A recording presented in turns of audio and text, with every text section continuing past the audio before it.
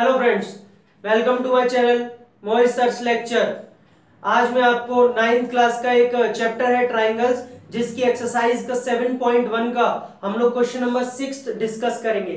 देखिए question number six में आपको फिगर दिया हुआ है एनसीईआरटी e में इन द गिवन फिगर ये फिगर गिवन है ठीक है? तो मैंने आपके सामने बना लिया है। अब इस फिगर में आपको क्या गिवन है? A C is equal to A question कह रहा है, जो ए सी है ए सी की तरह ये रही ए सी ए के इक्वल है, ठीक है? इसीलिए मैंने दोनों पे डबल डैश बनाया हुआ है। ए सी ए के इक्वल है। ये पहचान है, यहाँ पे दोनों पे सिंगल डैश है, यानी कि ये दोनों एक दूसरे के इक्वल है। ये डबल डैश है, यानी कि ये एक दूसरे के इक्वल है, ठीक है? ए बी ए डी के इक्वल है। ए बी ए डी के इक्वल है। Clear angle B A D angle E A C के इक्वल है। एंगल बी ए डी ये वाला एंगल एंगल ई ए सी इस वाले एंगल के इक्वल है। क्लियर आपको शो करना है कि बी सी डी के इक्वल होगी। बी सी जो है, वो डी के इक्वल होगी। ये प्रूव करना है आपको। चलिए तो सबसे पहले देखिए गिवन क्या गिवन है आपको? इतनी सारी चीज़ें गिवन है, फिर से लिखनी पड़ेगी आपको। A C is equal to A A B is equal to A D and angle B A D is equal to angle E A C ये आपको सारी चीज़ें लिख दी फिर से जो गिवन थी मैं ठीक है? क्वेश्चन में से। क्या प्रूव करना है आपको? टू प्रूव हमें प्रूव करना है कि बी सी जो है, वो डी के इक्वल है। ये लिखा है। चलिए कंस्ट्रक्शन कुछ हुआ है, बिल्कुल नहीं हुआ है तो प्रूफ देखिए, सबसे पहले आप टारगेट डिस यहाँ पे सेट कर लीजिए अपना कि हमें करना क्या है, तभी ये क्वेश्चन हो पाएगा। मैं आपको ढंग से इसके अलग अलग फिगर निकाल के भी समझा देता हूँ कैसे होगा। देखिए यहाँ पे हमें BC इक्वल करनी है डी के तो ये तो कंफर्म हो गया कि BC साइड हमें चाहिए। अब BC साइड आने के लिए आप पहले ट्राइंगल्स को चूज़ करना सीखिए कि ट्राइंगल्स कौन से लिए जाते हैं और कैसे लिए जाते हैं। मेन चीज़ ट्राइंगल है। BC साइड लाने के लिए मुझे कौन सा ट्राइंगल लेना पड़ेगा? ABC देख लीजिए आप। ABC के अलावा कोई ट्राइंगल है ही नहीं जिसमें BC आप ला करके कॉन्ग्रुएंस C प्रूव कर दे। BC साइड के लिए मुझे ट्राइंगल कौन सा चाहिएगा? ABC देख पा रहे हैं? ए बी सी अच्छा डी साइड के लिए कौन सा चाहिएगा? ए डी ई तभी तो बन पाएगा ट्राइंगल क्योंकि डी और ई e के एंड पॉइंट्स को ए ज्वाइन कर रहा है, देख लीजिए लास्ट में ए तो यहाँ पे ट्राइंगल कौन सा चाहिएगा? ए डी ई यानी कि ये तो क्लियर हो गया कि ए बी सी और ए डी ई ट्राइंगल में हम लोग कॉन्ग्रुएंसी लगाएँगे. In triangle A B C and triangle A D E ये मैंने लिख लिया A B C and A D triangle लिख लिए। चलिए, लेकिन अब समझ में नहीं आ रहा था कौन सा कैसे। है कभी भी आपको ऐसे फिगर्स मिले जो बहुत कॉम्प्लिकेटेड से होते हैं, समझ में नहीं आया तो उन फिगर्स को अलग अलग कर लीजिए। मैंने पहले भी दिखाया था, मैंने इसी एक्सरसाइज का क्वेश्चन नंबर टू जो यहाँ पे आपको पोस्ट किया था, उस टू में भी मैंने अलग अलग फिगर्स जो उसके बना के दिखाए थे फिगर अलग अलग करके, उससे क्लियर हो जाता है एकदम। अब मैं इसमें भी यही करूँगा। देखिए, मैं एबीसी और एडी ट्राइंगल को अलग कर लूँगा। एबीसी कैसा बन रहा है, यहाँ बना लीजिए आप। ये रहा। ए बी सी इसी की तरह बन रहा है ए बी सी तो मैंने इसका छोटा सा पार्ट यहाँ निकाल लिया। और देखिए ए बी पे वन डैश है। ए बी पे यानी कि ये। और ए सी पर कितने हैं? डबल डैश है ये रहे ए सी पे। तो आप भी लगा दीजिए दो। ठीक है? और ये बीच में यहाँ पे एंगल लेकिन पूरा आ नहीं रहा है। दूसरा देखिए एडी एडी कैसे बन रहा है? ऐसे। ऐसे ही बनाइए इसे बिल्कुल। ऐसे ऐसे और ऐसे। ऐसे तो बन रहा है? ये रहा ए और ये रहा डी और ये रहा ई e, ठीक है? ए डी ई ट्राइंगल मैंने अलग निकाल लिया यहाँ पे। देखिए ए डी पर वन डैश है आप भी बना दीजिए। ए ई e पर डबल डैश है आप भी बना दीजिए। ए e पर डबल डैश क्लियर अब हम इनमें कॉन्ग्रुएंसी लगाने की कोशिश करेंगे क्योंकि इस फिगर में देखना थोड़ा कॉम्प्लिकेटेड हो रहा है लेकिन इसमें बहुत क्लियर हो जाएगा। देखिए A B side triangle A B C में जो ए बी साइड है, वो ट्राइंगल एडीई की एडी के इक्वल है। हैं दोनों एक दूसरे के इक्वल चलिए तो साइड मिल गई इसका मतलब। एक साइड ए बी एडी के इक्वल है। अच्छा इसी की जो ए सी साइड है ए सी वो ए e के इक्वल है। यस डबल डैश लग रहा है, वो भी मिल गया।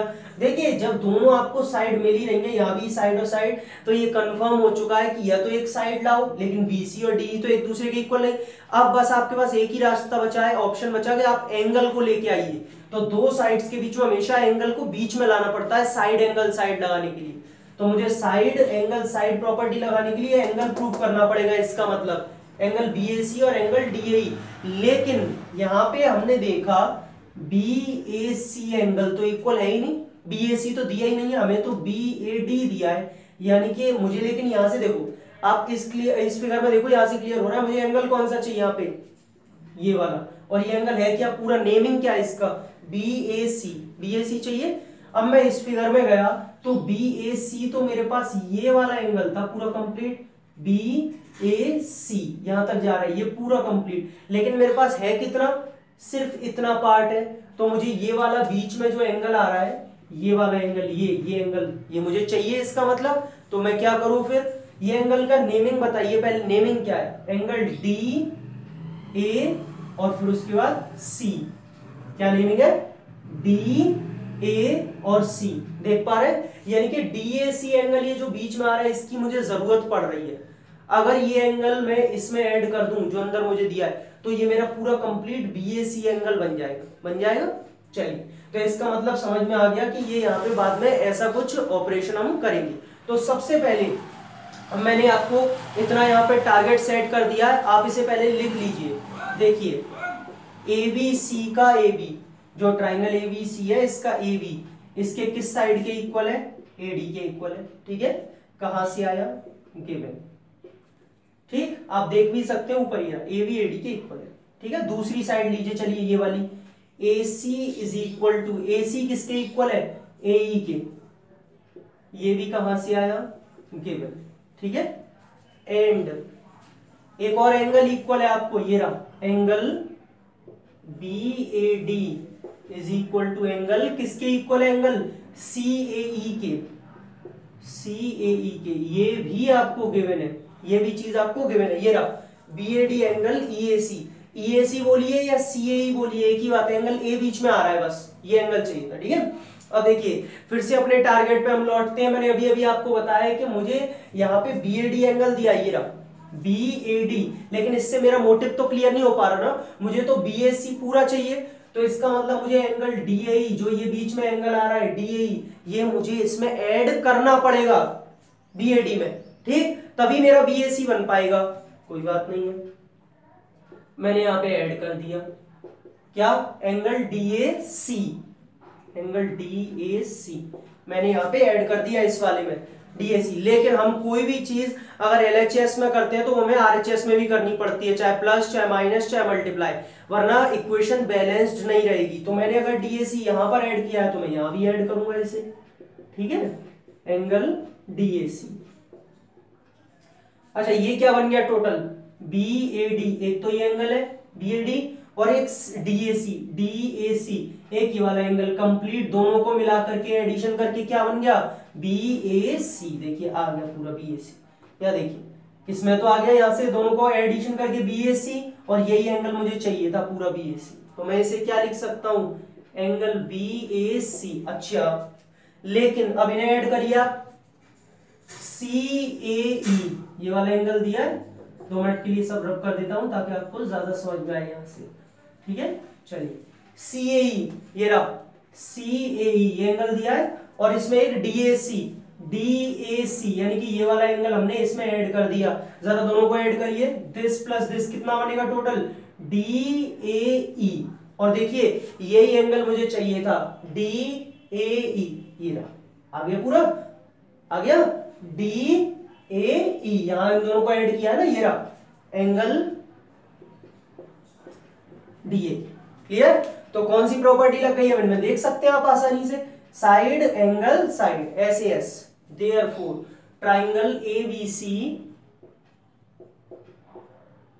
congruent to triangle triangle ABC जो है कॉन्ग्रेंट टू हो गया किसके? डीएई e के। ठीक है? ये दोनों ट्राइंगल्स एक दूसरे के क्या हो गए? कॉन्ग्रुएंट एबीसी एक दूसरे के डीएई e के यहाँ पे कॉन्ग्रुएंट हो गया। By S A S rule S S rule से। एस एस रूल बोल लीजिए S S congruency side angle side से।